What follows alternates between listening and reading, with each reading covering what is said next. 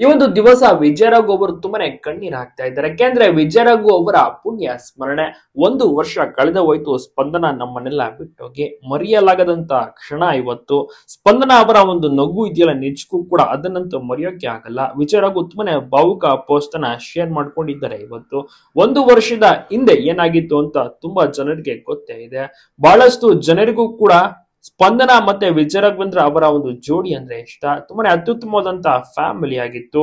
ತುಂಬಾನೇ ಒಟ್ಟಿಗೆ ಸುತ್ತಾಡ್ತಾ ಇದ್ರು. ಒಬ್ಬ ಮುದ್ದಾದ ಮಗ, ಒಬ್ಬನೇ ಮಗ ಶೌರ್ಯ.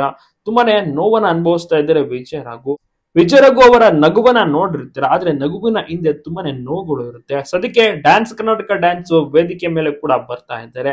ಪ್ರತಿ ವೀಕೆಂಡ್ನಲ್ಲಿ ನಾವು ವಿಜಯ ರಾಘು ಅವರನ್ನ ಈ ಒಂದು ಶೋ ನಲ್ಲಿ ನೋಡಬಹುದು ಜಡ್ಜ್ ಆಗಿ ತುಂಬಾ ಚೆನ್ನಾಗಿ ಕಂಟೆಸ್ಟೆಂಟ್ಸ್ಗಳ ಜೊತೆ ಬೆರೆತು ಬೇರೆಯವರ ಜೊತೆ ಬೆರೆತು ಚೆನ್ನಾಗಿ ಮಾರ್ಕ್ಸ್ ಅನ್ನ ಕೊಡ್ತಾ ಇದ್ದಾರೆ ಎಂಜಾಯ್ ಮಾಡ್ತಾ ಇದ್ದಾರೆ. ಆದ್ರೆ ಒಳಗಡೆ ತುಂಬಾನೇ ನೋವನ್ನು ಅನುಭವಿಸ್ತಾ ಇದ್ದಾರೆ. ಸ್ಪಂದನ ಅವರನ್ನ ತುಂಬಾನೇ ಮಿಸ್ ಮಾಡ್ಕೊಳ್ತಿದ್ದಾರೆ.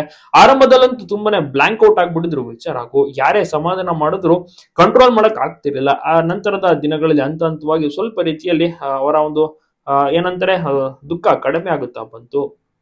ಈಗ ಸದ್ಯಕ್ಕೆ ಪರವಾಗಿಲ್ಲ ವಿಚಾರ ಆರಾಮಾಗಿದ್ದಾರೆ. ಫ್ಯಾಮಿಲಿ ಒಟ್ಟಿಗೆ ಅಂದ್ರೆ ಮಗನೊಟ್ಟಿಗೆ ತುಂಬಾ ಚೆನ್ನಾಗಿ ಎಂಜಾಯ್ ಮಾಡ್ತಿದ್ದಾರೆ. ಮಗನ ಜೊತೆ ಈಗ ಎಲ್ಲ ಕಡೆ ಹೋಗ್ತಾರೆ ಸುತ್ತಾಡ್ತಾರೆ ಮುಂಚೆ ಸ್ಪಂದನ ಅವರು ಕೂಡ ಹೋಗ್ತಾ ಇದ್ರು. ಈಗ ಸ್ಪಂದನ ಅವರು ಇಲ್ಲ. ಶೌರ್ಯನಿಗೂ ಕೂಡ ಒಂದು ಧೈರ್ಯವನ್ನು ಹೇಳುವಂತ ಕೆಲಸ ಮಾಡ್ತಾ ಇದ್ದಾರೆ. ಈ ಒಂದು ಟೈಮ್ನಲ್ಲಿ ಮಗ ಶೌರ್ಯನಿಗೆ ಒಂದು ದೊಡ್ಡ ಬೆನ್ನೆಲುಬಾಗಿ ನಿಂತಿದ್ದಾರೆ. ಆ ವಿಚಾರಗು ಅವರು ಯಾಕೆಂದ್ರೆ ಮಗ ಶೌರ್ಯ ಕುಗ್ಗಿ ಬಿಡ್ತಾನೆ. ಸೊ ಹೀಗಾಗಿ ಅವನ ಮುಂದೆ ಧೈರ್ಯವಾಗಿ ನಿಲ್ಬೇಕಾಗುತ್ತೆ. ನಿಮಗೂ ಕೂಡ ವಿಚಾರಗೂ ಇಷ್ಟ. ನಿಮ್ಮ ಒಂದು ಅನಿಸಿಕೆ, ಅಭಿಪ್ರಾಯವನ್ನ ತಪ್ಪದ ಕಮೆಂಟ್ ಮಾಡಿ ತಿಳಿಸಿ.